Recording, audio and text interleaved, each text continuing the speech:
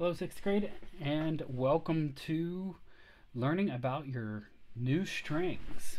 So we're going to start off with the E string on the violin. So we've got our screen here. You can see we've got our staff, our five lines and four spaces, and we're going to put our treble clef here, and then we're going to, of course, go through our strings and our fingerings. So for our E string, the first note of our E string starts here. This is E, of course, and it is open for right now. Um, easy enough. The next note is here on our first line, or our top line, or fourth line, fifth line rather. And this, we're going to go ahead and include an F, a sharp because this is going to be F sharp for right now. And this is our normal first finger. Nothing new there, just the first finger on the E string.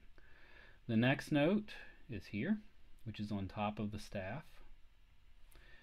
This is G, not G sharp. Uh, we're going to be using a low 2 for this note. Low 2. So we're going to have to keep our fingers together to make sure that we get that together. Um, first ledger line, we start adding ledger lines after this. This is A which is our third finger. And then finally, on top of that ledger line is B, and that is our normal fourth finger. So when we look at it on our instrument, we have E, F sharp, which is normal 1, G natural, which is a low 2, A, which is 3, and B.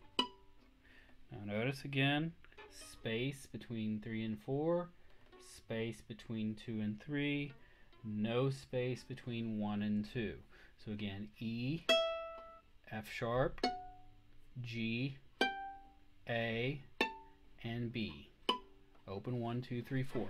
Memorize those notes. Viola, your C string. Your C string is you know the lowest string that you have and is going to be way underneath the staff. So we're going to start with our clef and of course we have our viola clef there. Um, sorry for the poor drawing. Now your first note on your C string is down below the staff. So this here is C which is your open string. Easy. Nice open deep string. Uh, then we're going to go to on the ledger line.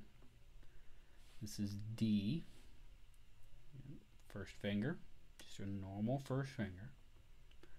And we're going to go right underneath the staff. This is E, second finger on the first line of the staff, which is F, not F sharp. This is F natural in this case. Third finger, and then finally, right here, this is our G, which you can play fourth finger. So this is a normal fingering pattern. No low twos or anything weird. So we have a C, we put our first finger, D, E, normal third, and G.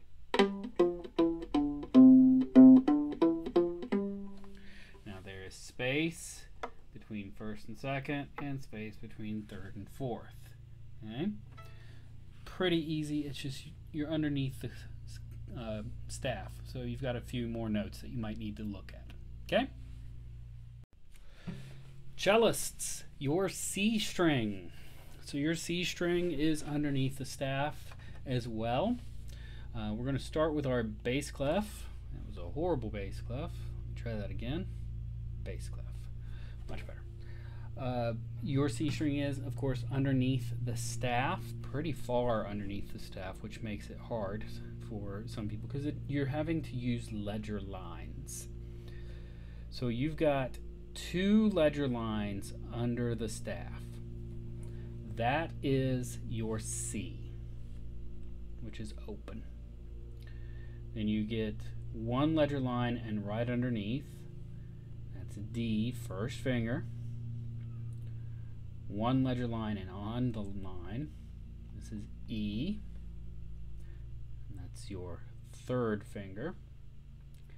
And then right underneath the staff is F natural, not F sharp, F natural. And then if you were to shift down to fourth position with first finger, this is G. So you get C, open, first finger, D, third finger, which is E, fourth finger F, and then G shifted.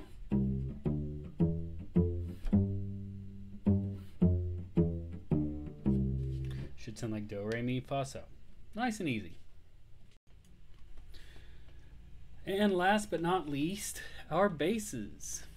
So bass, you're thinking E string, which again is underneath the staff, um, which you're using ledger lines. And ledger lines, you know, you're used to using ledger lines on top of the staff, but now we've got to add them on the bottom. So we start off with our bass clef, nice and easy. And your E string starts one ledger line underneath. So this is your E, and that's open, of course. Uh, after that, you get underneath, this is F sharp. So we gotta add our, oop. We gotta add our sharp right there. And this is your normal first finger. Then you get the line, uh, first line. This is second finger, and this is a G natural. Now, when you shift to third position, this is when you get A and B.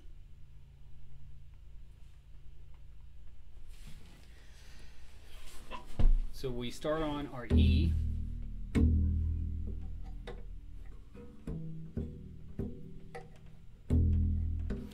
There's our E open.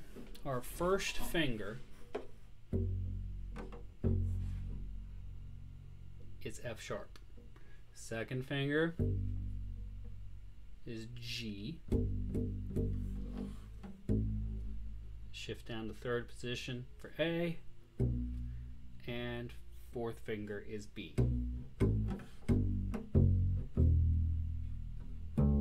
Now, a lot of times you'll jump from a D on the staff.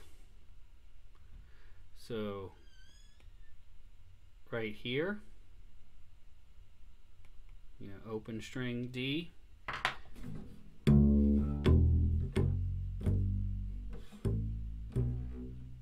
And walk up which gives you a lower octave of the D major scale.